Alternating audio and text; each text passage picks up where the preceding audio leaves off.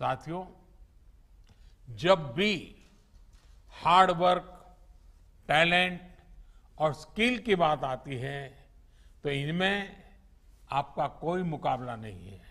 मैं आपसे यह भी अनुरोध करना चाहता हूँ कि आप पूरे अटेंशन के साथ ही अपने अनुभवों का डॉक्यूमेंटेशन भी करते रहें। पेशेंट के साथ आपके एक्सपीरियंसेस का डॉक्यूमेंटेशन बहुत ही अहम है। साथ ही मरीज़ के सिम्टम्स ट्रीटमेंट प्लान और उनके रिस्पांस का भी डिटेल डॉक्यूमेंटेशन होना चाहिए। यह एक रिसर्च स्टडी के रूप में भी हो सकता है, जिसमें विभिन्न प्रकार की दवाओं और ट्रीटमेंट्स के असर को नोट किया गया हो।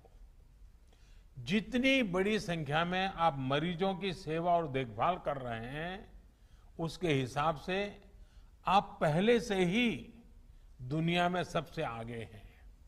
यह समय यह भी सुनिश्चित करने का है कि आपके काम का, आपकी साइंटिफिक स्टडीज़ का दुनिया संज्ञान ले और आने वाली पीढ़ी को उसका लाभ भी मिले। इससे दुनिया को जहाँ मेडिकल से जुड़े कई जटिल सवालों को समझने में आसानी होगी, वहीं उसके समाधान की दिशा भी मिलेगी।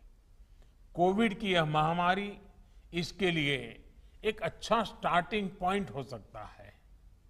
वैक्सीन किस प्रकार से हमारी मदद कर रही है?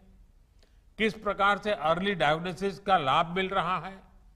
और एक पर्टिकुलर ट्रीटमेंट किस प्रकार से हमारी सहायता कर रहा है? क्या हम इसको लेकर ज़्यादा से ज़्यादा स्टडीज़ कर सकते हैं?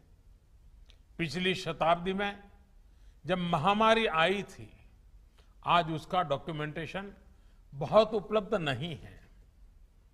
आज हमारे पास टेक्नोलॉजी भी है और हम अगर कोविड से कैसे मुकाबला किया गया है, इसके प्रैक्टिकल अनुभवों का डॉक्यूमेंटेशन करते हैं तो वो भविष्य में पूरी मानवता के लिए बेहद मददगार साबित होगा।